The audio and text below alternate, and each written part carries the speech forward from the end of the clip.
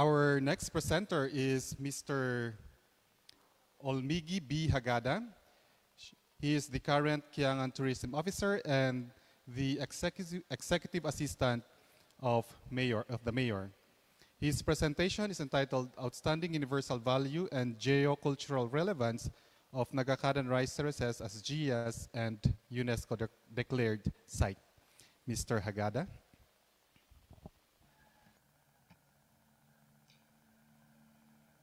Good morning, everyone. Before I start with my uh, brief discussion, I would like first to uh, thank the organizers of this uh, summit. Of course, that's spearheaded by the GIAHS department of the Ifugao State University. So I am tasked to uh, give a brief discussion regarding the outstanding universal value and geopolitical relevance of the Nagacadan rice terraces as a UNESCO and uh, GIAHS declared site. So in 1995, the uh, Nagakadan rice terraces was included as among the uh, five clusters of World Heritage Sites here in Ifugao based from three criteria. Number one is antiquity, aesthetic, and ecological balance. That is uh, uh, criteria 3, criteria 4, and criteria 5 of UNESCO. Uh, in terms of antiquity, the current condition of the Nagacadan rice terraces right now is that it no longer observes the uh, performance of rituals and traditional practices. That is because there is uh, a massive shift of the kind of farming practices that is being uh, that is being done in the Nagacadan rice terraces. First, we have to consider the abandonment of uh, much of the rice fields because of outmigration. Second is the uh, transition to uh, traditional varieties to introduce var varieties by the Department of Agriculture. And then, of course, third is the conversion of much of our rice terraces into vegetable farming. So in terms of antiquity, uh, basing from the uh, standard or the criteria of uh, UNESCO, I think uh, there is really much to be done in here in uh, reviving or encouraging the people to shift back to the kind of practices that has maintained the rice terraces uh, that made it a World Heritage Site. Uh, we have to consider that uh, the way we tend traditional varieties is very different from that of uh, the lowland varieties that is introduced to the Nagacadan rice terraces. Uh, in every stage of farming, there are rituals and there are uh, yeah, there are so many rituals and beliefs that are uh, associated in the performance or observance of each stage. However, with the introduction of lowland varieties that requires a short period of time and uh, a different way of tending the rice, it has completely erased the local practices. I think it was only in 2018 that uh, an NGO, through its initiative, uh, tried to revive the uh, observation of uh, of a rice ritual. However, in its context, it does not. In Ifugao context, it does not actually cover uh, the very intent why such uh, ritual is being performed.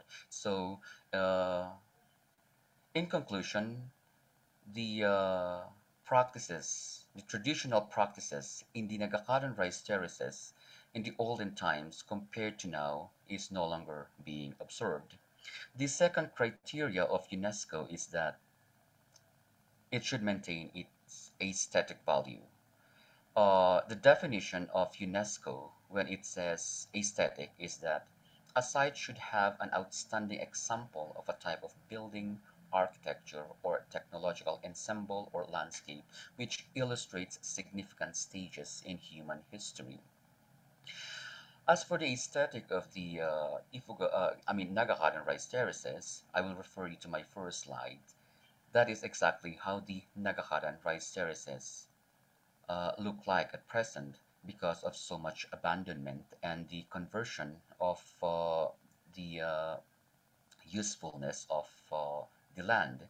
people right now have become more uh, practical in terms of their uh, survival, uh, in terms of uh, earning income, which is why uh, I've mentioned a while back that there had been already uh, a transition of the of the use of the land in Nagacadan such that it has completely altered its aesthetic value.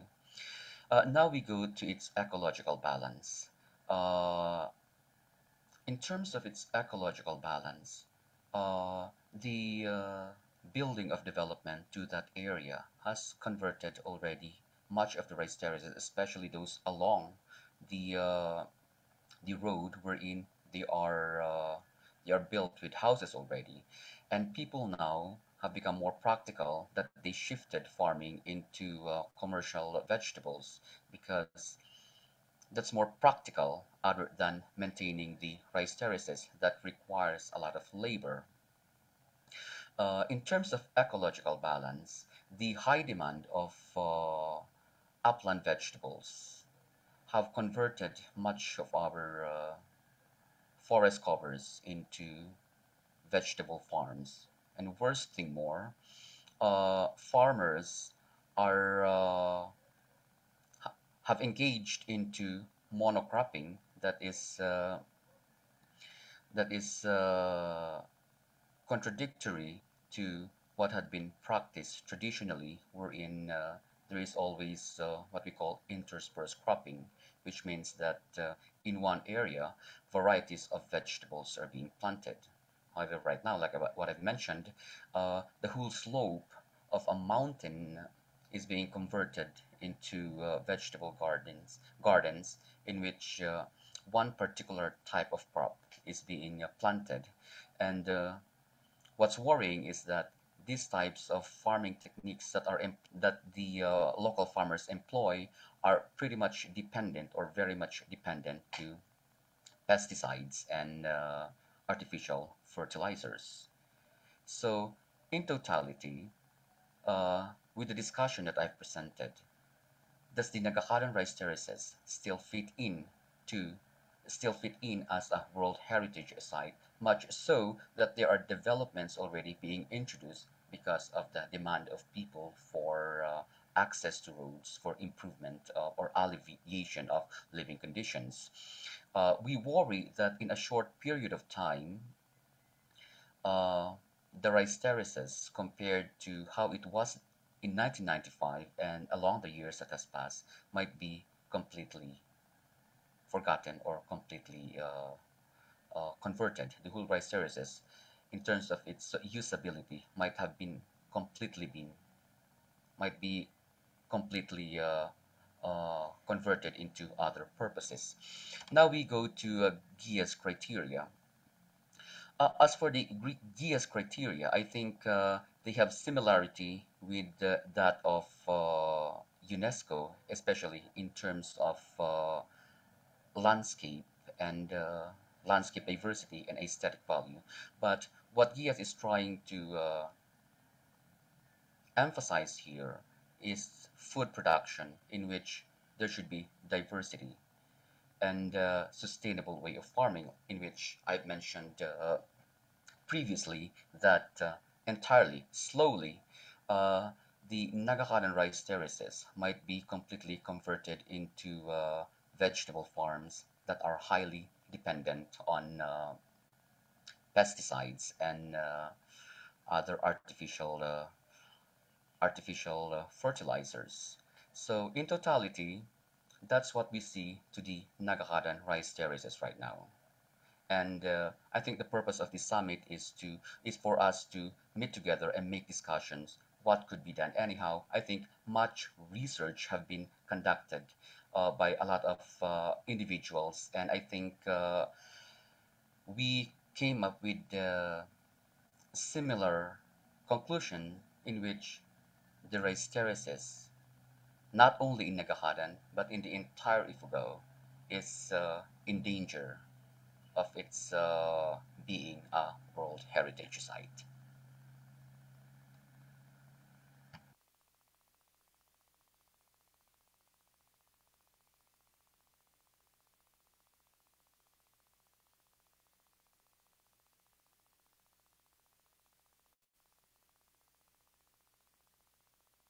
Thank you very much, Mr. Olmigi Hagada, our tourism officer from the LG of Kiangan. And before we proceed to the next